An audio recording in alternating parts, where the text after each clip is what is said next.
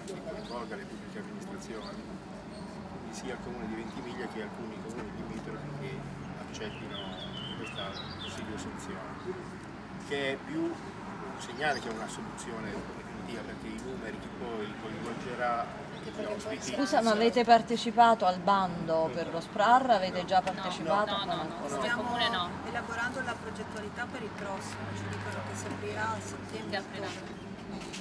Perché attraverso questo passaggio c'è una forma eh, nuova, tra virgolette, nel senso che lo SPRAR non è più soltanto delle cooperative privati si rendono disponibili, ma è anche delle- degli enti locali che possono quindi eh, contribuire anche più, che altro come un'immagine di accoglienza che come una soluzione, perché i numeri saranno poi quelli che sono, quindi no, se Ventimiglia accogliesse 20 persone e altre 30 sui comuni limitrofi, 50 persone non sono certo la soluzione del problema, però aprono un, un modo diverso di potenzialmente risolverlo.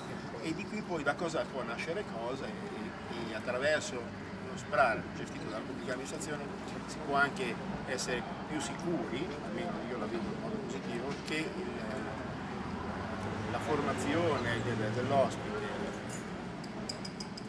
l'apprendimento linguistico di alcune cose, lingua base dell'italiano, l'indirizzo al lavoro, la, la preparazione possa essere concreta. Ecco. Questo mi sembra invece uno degli aspetti un po' carenti di coloro che gestiscono gli SPRAR, incassano i 35 euro, danno un'ospitalità minima ma poi non danno quello che è compreso nei 35 euro, formazione. Speriamo, adesso vediamo un po'.